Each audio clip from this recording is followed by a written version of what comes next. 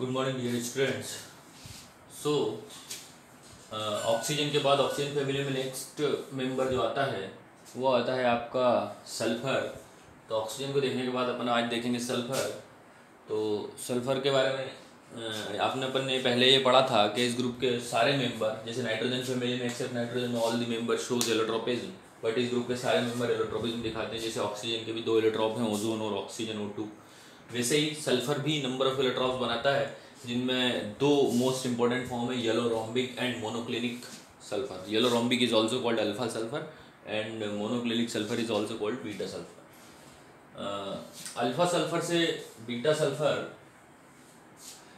कैसे बनता है? अल्फ़ा सल्फ़र जब टेम्परेचर 369 केल्विन से कम हो, तब अल्फ़ा सल्फ़र ज़्यादा स्टेबल होता है। तो 369 केल्विन से जब टेम्परेचर कम होगा तो अल्फ़ा सल्फ़र होगा और जब टेम्परेचर 369 से ज़्यादा हो जाएगा तो this alpha sulphur will be converted into beta sulphur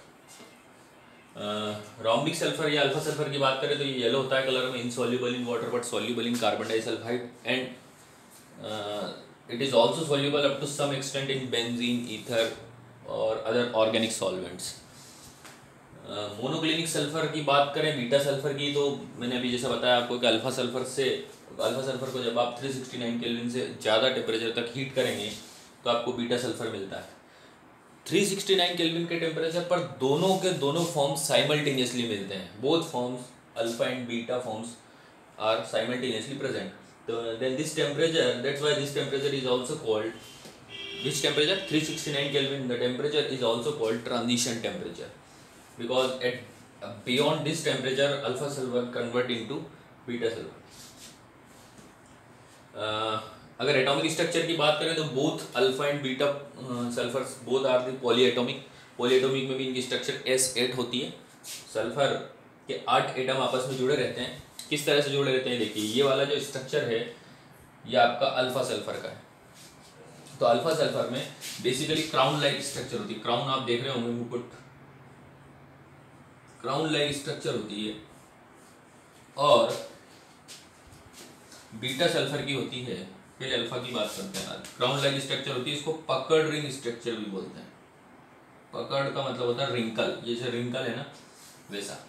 तो पकड़ रिंग लाइक स्ट्रक्चर होती है। यहाँ पर सल्फ़र के आठ एटम है। एक, दो, तीन, चार, पाँच छः सात, आठ। आठ सल्फ़र के एटम ने इस तरह की स्ट्रक्चर बनाई है। इसीलिए सल्फ़र का मेल्टिंग पॉइंट अपन ने देखा था कि ऑक्सीजन से सडनली बहुत ज़्यादा बढ़ जाता है। ऑक्सीजन एक गेज है, लेकिन सल्फ़र एक सॉलिड है। सल्फ़र आपने सिंपली आपने देखा नहीं हो तो मैं आपको बता दूँ, आप किराने की दुकान पे जाएँगे और किसी को बोलेंगे, गंधक, हमें दे दीजिए गंधक तो दैट गंधक इज़ सल्फ़र. अब वो थ्री सिक्सटी नाइन केल्विन के नीचे ही है तो definite three sixty nine kelvin के नीचे ही तो डेफिनेटली वो कौन सा सल्फ़र होगा? Alpha sulphur. जो आप लेब से ले, जो आप दुकान पे, किराने की दुकान से गंधक लेके आएँगे डेट इज़ अल्फ़ा सल्फ़र इसके बाद आता है बीटा सल्फ़र तो बीटा सल्फ़र की स्ट्रक्चर आप देख रहे हैं चेयर लाइक होती है. चेयर लाइक शेप होता है इसके आर्ट सॉरी यहाँ पर मिस्टेक हुई मेरे से. बेसिकली अल्फ़ा और बीटा दोनों सल्फ़र की स्ट्रक्चर क्राउन लाई की होती है. कोई अलग से बोर्ड नहीं होती, क्योंकि आप ये देख रहे होंगे छः मैंने ध्यान नहीं दिया. इसमें एस सिक्स है this is called cyclo S six sulphur alpha और बीटा दोनों की स्ट्रक्चर सेम है. फिर से बोल रहा हूँ अल्फ़ा और बीटा दोनों की स्ट्रक्चर क्राउन लाइक स्ट्रक्चर होती है. जबकि आप जब इसको हीट करते हैं तो ये रिंग डिस्टर्ब होती है और हायर टेम्परेचर पर आपको साइक्लो एस सिक्स सल्फ़र मिलता है। This is one another allotropic form जैसे अपन ने बोला कि नंबर ऑफ़ एलोट्रॉपिक फॉर्म्स होंगे तो वैसे ही ये एक उसका साइक्लो एस एलोट्रॉपिक फॉर्म है। और साइक्लो सिक्स की स्ट्रक्चर आप देख रहे होंगे छः सल्फ़र के एटम इस तरह से चेयर फॉर्म में रहेंगे। This is called chair chair देख रहे होंगे आप, बैठने की ये पीछे सपोर्ट है, टिकने के लिए। यहाँ पर फुट रेस्ट है तो इस तरह से ये एक चेयर फॉर्म नज़र आता है।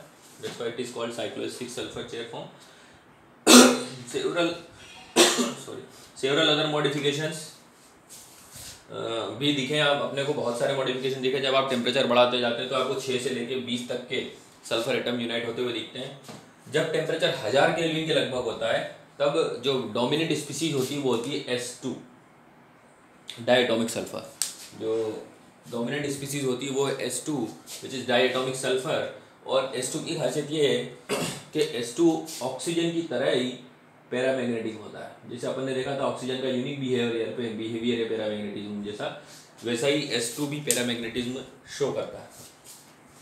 तो ये हुई सल्फ़र और सल्फ़र के एलोट्रॉप्स के बारे में सुपरफिशियल इन्फॉर्मेशन आइए आगे आते हैं इसके कंपाउंड्स पर सल्फ़र डाइऑक्साइड पर। सो so, नेक्स्ट है अपना सल्फ़र डाइऑक्साइड तो सल्फ़र डाइऑक्साइड आप बुक में पढ़ना जो पढ़ने वाली इन्फॉर्मेशन में रीड कर दे रहा हूँ। Sulphur dioxide is form together with little six to eight percent sulphur dioxide when sulphur is burned in the presence of oxygen जब आप सल्फ़र को ऑक्सीजन की प्रेजेंस में बनाते हैं तो सल्फ़र डाइऑक्साइड बनता है, पर साथ में सल्फ़र ट्राईऑक्साइड भी मिलती है। Six to eight percent concentration sulphur trioxide की भी होती है। लेबोरेटरी में इसको सल्फाइड और सल्फाइड की रिएक्शन जब डाइल्यूट सल्फ्यूरिक एसिड से कराते हैं, आप, तब आपको एसओ टू गैस मिलती है। और इंडस्ट्रियल इसको बनाने के लिए सल्फाइड ओट की जब रोस्टिंग करते हैं, तब आपको सल्फ़र डाइऑक्साइड मिलती है। बेसिकली जो वो, जैसे मेटालर्जिकल इंडस्ट्री जैसे कॉपर की इंडस्ट्री है आयरन की इंडस्ट्री और कॉपर और आयरन के अधिकतर मिनरल सल्फ़र ही होते हैं। तो जब आप उस सल्फ़र ओर की जब रोस्टिंग करते हैं तो आपको एसओ टू गैस मिलती है। रोस्टिंग मतलब रोस्ट करना एयर की प्रेजेंस में भुनना ओर को। तो जब आप ओर को रोस्ट करते हैं, तब आपको sulphur dioxide as a by product मिलती है और उन्हीं, उसी गैस को अपन सिंपली जब सल्फ़र डाइऑक्साइड को आप वाटर में डिजोल्व करते हैं तो आपको क्या मिलता है? H two S O three sulphuric acid या तो इससे इस इस एसिड को बनाने में के लिए काम में ला सकते हैं, या फिर इस सल्फ़र डाइऑक्साइड का फर्दर ऑक्सीडेशन कराते हैं।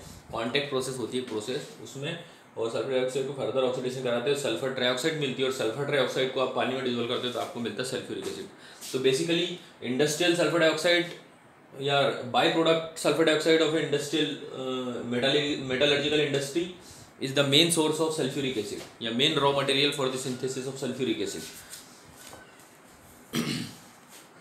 ये आप देख सकते हो, उसमें लिखा है। ये जो गैस जो निकलती है मेटलर्जिकल इंडस्ट्री में, इसको ड्राई किया जाता है और लिक्विफाइड करके प्रेशर स्टील वाले सिलेंडर में अंडर प्रेशर फिल कर दिया जाता है।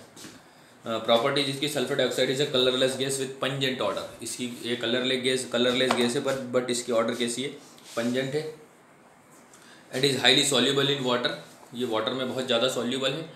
इसके बाद it liquefies at room temperature under pressure of two atmosphere and boils at two sixty three kelvin सब आप देख सकते हैं, पानी की में डिजोल्व करने के बाद जो रिएक्शन दिखती है आप, यहाँ पर अपन देख सकते हैं वाटर में डिजोल्व करते हैं सल्फ्यूरिक एसिड बनता है, फिर सल्फ्यूरस एसिड बनता है और सल्फ्यूरस एसिड आयोनाइज होता है। That's why solution of sulphur dioxide is acidic solution ये सोडियम हाइड्रोक्साइड सॉल्यूशन के साथ रेडिली रिएक्ट करती है और सोडियम सल्फाइड बनाती है। यहाँ पर जो सल्फ़र डाइऑक्साइड की रिएक्शन है बेसिकली कार्बन डाइऑक्साइड से रिसेम्बलेंस दिखाती है। एनओ इससे रिएक्शन कार्बन डाइऑक्साइड और सल्फ़र डाइऑक्साइड दोनों की एक जैसी होती है। अब, जैसे आपने याद होगा कार्बन डाइऑक्साइड की आइडेंटिफिकेशन की वो क्या थी कि ये लाइन वाटर को मिल्की कर देती है। वो लाइम वाटर को क्या कर देती है? मिल्की तो बिकॉज़ लाइम वाटर वहाँ पर कैल्शियम हाइड्रोक्साइड था तो वहाँ पर कैल्शियम हाइड्रोक्साइड मिल्की होता है because of the formation of calcium carbonate C A C O three वहाँ पर कैल्शियम कार्बोनेट के फॉर्मेशन से लाइम वाटर मिल्की होता है। और जब आप एक्सेस ऑफ़ सी पास करते हैं तो दैट लाइम वाटर और lime colour of that solution gets disappear and it get it gets decolourise तो ऐसा क्या होता है? बिकॉज़ जो कार्बोनेट बने थे कैल्शियम कार्बोनेट वो एक्सेस ऑफ़ सी पास करने पे बाई कार्बोनेट में कन्वर्ट हो जाते हैं। बाई मैं फिर रिएक्शन लिख देता हूँ आपके सामने। तो एक्सेस ऑफ़ सी जैसे आपने C O two lime water में पास की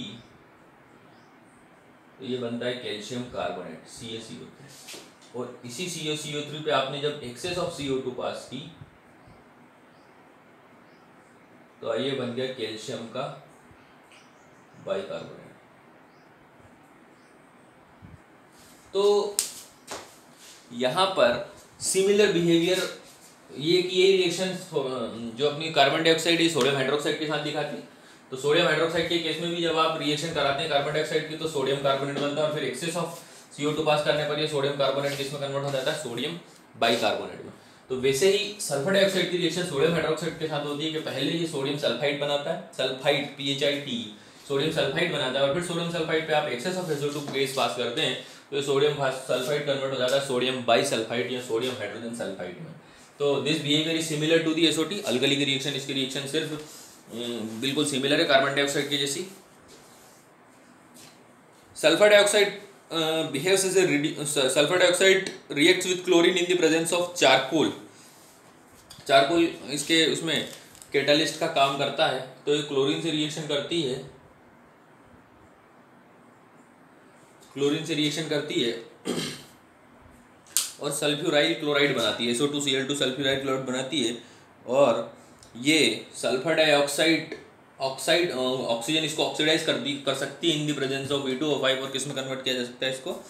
Sulphur dioxide. This is the chain reaction और की रिएक्शन मेन रिएक्शन और की reaction of contact process sulphuric acid बनाने की कॉन्टैक्ट प्रोसेस है अपन देखेंगे अभी नेक्स्ट उसमें। Moist sulfur dioxide behaves as a reducing agent. For example, it converts iron 3 ions into iron 2 reduce कर देती है Fe3 प्लस को Fe2 में। और ये एसिडिक पोटेशियम परमैंगनेट के सॉल्यूशन को डीकलराइज कर सक डीकलराइज करती है। That indicate that potassium permanganate is oxidising something मतलब that is potassium permanganate is reducing itself ये जो पोटेशियम परमैंगनेट के सॉल्यूशन की जो डीकलराइज वाली टेस्ट है, वो सल्फ़र डाइऑक्साइड के आइडेंटिफिकेशन पर्पज से यूज़ की जाती है। अगर कई गैस जो दे रहे हैं, वो सल्फ़र डाइऑक्साइड है या नहीं तो अगर आप उसको पोटेशियम परमैंगनेट के सॉल्यूशन में पास करेंगे और अगर सॉल्यूशन डीकलराइज हो जाता है, इसका मतलब वो जो गैस है, वो सल्फ़र डाइऑक्साइड है, हो सकती है। सल्फ इसकी जो स्ट्रक्चर की बात करें सल्फ़र डाइऑक्साइड की अगर स्ट्रक्चर की बात करें तो ये ठीक ओजोन जैसी होती है, और ये ओजोन जैसा ही दो रेजोनेंस दो रेजोनेंस फॉर्म्स का कैनोनिकल हाइब्रिड है, दो कैनोनिकल फॉर्म्स का एक रेजोनेंस हाइब्रिड है। ये इस तरह की स्ट्रक्चर होती है, इसमें एंगुलर इसका शेप होता है लाइक वाटर और लाइक ओजोन और इसके यूजेस देखें sulphur dioxide use in refining petroleum and sugar industries bleaching wool and silk as an antichlor मैंने आपको बताया एंटीक्लोर क्लोरीन के साथ रिएक्शन करके इसको एंटीक्लोर मतलब वो सब्सटेंस जो क्लोरीन को ठिकाने लगाता है, किसी रिएक्शन में निकलने वाली क्लोरीन को। तो वहाँ पर भी एंटीक्लोर जैसा यूज़ होता है disinfectant and preservative sulphuric acid sulphuric acid sodium hydrogen sulphide and calcium hydrogen sulphide इन सबको बनाने के लिए सल्फ़र डाइऑक्साइड का यूज़ किया जाता है। Liquid SO two is use as a solvent to dissolve number of organic and inorganic chemicals जो liquid SO two है, वो बहुत बहुत सारे कामों में सॉल्वेंट जैसे यूज़ किया जाता है लेबोरेटरीज में। आगे आते हैं ऑक्सो एसिड्स ऑफ़ सल्फ़र ये इंपॉर्टेंट टॉपिक है oxo acids of sulphur so next आते हैं oxo oxo acids of sulphur तो sulphur form number of oxo acids oxo acids में आपको फिर से बता दूँ ऑक्सो एसिड्स वो एसिड है जिनमें हाइड्रोजन ऑक्सीजन से जुड़ा रहता है और बिकॉज़ सल्फ़र की बात करें तो सल्फ़र के ऑक्सो से जो ओ OH, जिस ओ OH की अपन बात करें वो OH सल्फ़र से जुड़ा हुआ तो पहले पहला oxo acid sulphurous acid which is S two S O three दूसरा है sulphuric acid which is S two S O four this is also called orthosulphuric acid तीसरा है आपका oleum. Which is also called pyro sulphuric acid pyro मतलब आपको मालूम है, जब आप पायरो सल्फ्यूरिक मतलब सल्फ्यूरिक एसिड को जब आप हीट करेंगे तो सल्फ्यूरिक एसिड के दो मॉलिक्यूल आपस में यूनाइट होंगे और एक वाटर का मॉलिक्यूल लूज कर देंगे और आपको मिलेगा पायरो सल्फ्यूरिक एसिड उसके बाद जो एक और है परोक्सो डाइसल्फ्यूरिक एसिड तो इनकी स्ट्रक्चर देखते हैं, सभी में sulphur S P three hybridise है। यहाँ पर S P three L P one है। तो इसका शेप पिरामिडल टाइप का है सल्फू सल्फ्यूरस एसिड का, क्योंकि एक लोन पेयर एक वर्टाइसिस पर की गई है। दूसरा सल्फ्यूरिक एसिड टेट्राहाइड्रल होता है। टेट्राहाइड्रल में सल्फ़र मतलब sp3 हाइब्रिडाइज्ड होता है। टेट्राहाइड्रल नहीं बोल सकते क्योंकि वो सल्फ़र के आसपास तो ज्योमेट्री टेट्राहाइड्रल है, लेकिन यहाँ पर जो ऑक्सीजन है, ये भी sp3 हाइब्रिडाइज्ड है तो यहाँ पर ये बॉन्ड जो होगा एंगुलर होगा। तो यहाँ पर सल्फ्यूरस एसिड और सल्फ्यूरिक एसिड दोनों मोनो डाइबेसिक एसिड होते हैं। दोनों के दोनों आपको दो प्रोटॉन देंगे। और उसके बाद यहाँ पर ओलियम को आप यहाँ पायरोसल्फ्यूरिक एसिड को देख रहे हैं ये भी एक डाइबेसिक एसिड है। और पराक्सो डाइसल्फ्यूरिक एसिड में क्या होता है? पराक्सो डाइसल्फ्यूरिक एसिड में दो पराक्साइड बॉन्ड होता है। ये जो बॉन्ड दिख रहा है ये बेसिकली पराक्साइड बॉन्ड है। That's why it is called peroxo disulphuric acid. यहाँ पर स्ट्रक्चर देखेंगे आप सल्फ्यूरिक एसिड दो सल, एक एसिड सल्फ्यूरिक एसिड और दूसरा सल्फ्यूरिक एसिड के मॉलिक्यूल आपस में यूनाइट हुए with liberation of water molecule तो ये ये कब होता है? जब आप सल्फ्यूरिक एसिड को हीट करते हैं। तब आपको ये मिलता है पायरोसल्फ्यूरिक एसिड तो सभी में sulphur S P three hybridised है ऑक्सीडेशन स्टेट की बात करें तो सिर्फ़ इसमें प्लस फोर होती है, बाकी सब में प्लस सिक्स प्लस सिक्स है सल्फ़र की ऑक्सीडेशन स्टेट यहाँ पर ऐसा लगता है कि प्लस सेवन है, जब जबकि प्लस सेवन सल्फ़र दिखाई नहीं सकता, उसके पास इतने इलेक्ट्रॉन ही बैलेंस तो ये इसका कारण ये है कि यहाँ पर अपन ऑक्सीजन की दो दो मानेंगे, लेकिन यहाँ पर हर ऑक्सीजन की एक एक ही मानना पड़ेगी minus one minus one because ये दोनों ऑक्सीजन आपस में जुड़े हुए हैं। तो ये पैराडॉक्स है। कि ऑक्सीजन स्टेट इसकी प्लस सेवन होगी, लेकिन होती नहीं है कितनी होती है प्लस सिक्स इसके बाद आगे आते हैं अपन सल्फ्यूरिक एसिड पे। तो सल्फ्यूरिक एसिड, बहुत इंपॉर्टेंट इंडस्ट्रियल केमिकल है। ये कांटेक्ट प्रोसेस से बनाया जाता है। दो प्रोसेस होती है, एक लेड चेम्बर प्रोसेस और एक कॉन्ट्रैक्ट प्रोसेस जिसमें आजकल जो पॉपुलर मेथड है जो बनाने की, वो होती है कॉन्ट्रैक्ट प्रोसेस तो आइए देखते हैं कॉन्ट्रैक्ट प्रोसेस में होता क्या है। So manufacture of sulphuric acid through contact process में तीन स्टेप की स्टेप है। वो है बर्निंग ऑफ़ सल्फ़र पहले सल्फ़र को बर्न किया जाता है। In the presence of oxygen तो सल्फ़र बर्न होता है तो सल्फ़र से मिलता है। आपको बर्न होने के बाद सल्फ़र डाइऑक्साइड या सल्फाइड ओर को रोस्ट किया जाता है तो आपको मिलती है एसओ टू जो हम देख चुके हैं। सेकंड केस में इस एसओ टू को फर्दर ऑक्सीडाइज किया जाता है। In catalytic chamber V two O five vanadium pentoxide यहाँ पर कैटालिस्ट होता है, वो सल्फ़र डाइऑक्साइड को ऑक्सीजन के रिएक्शन करा के सल्फ़र ट्राइऑक्साइड में कन्वर्ट करता है। इस रिएक्शन का थर्मोडाइनमिक्स आप देखें तो ये रिएक्शन काफ़ी एक्जोथर्मिक रिएक्शन है ये इसमें हीट लिबरेट होती है हीट लिबरेट होती है इसका मतलब अगर आपको ज़्यादा से ज़्यादा अगर सल्फ़र ट्राइऑक्साइड बनाना है तो आपको हम्म, क्योंकि रिएक्शन एक्जोथर्मिक है तो आपको टेम्परेचर लो करना पड़ेगा। तो टेम्परेचर इसका लगभग होता है सात सौ बीस केल्विन तक फेवरेबल टेम्परेचर प्रेशर की बात करें तो वॉल्यूम इस रिएक्शन में फॉरवर्ड डायरेक्शन में घट रहा है तीन मोल से दो मोल बन रहे हैं इसलिए प्रेशर आपको वहाँ पर बढ़ा हुआ रहना पड़ेगा। थर्ड स्टेप में absorption of SO three in the in H two SO four तो उससे आपको मिल जाता है H two H two O seven oleum इसका स्कीमेटिक हम नेक्स्ट लेक्चर में देखेंगे। Thank you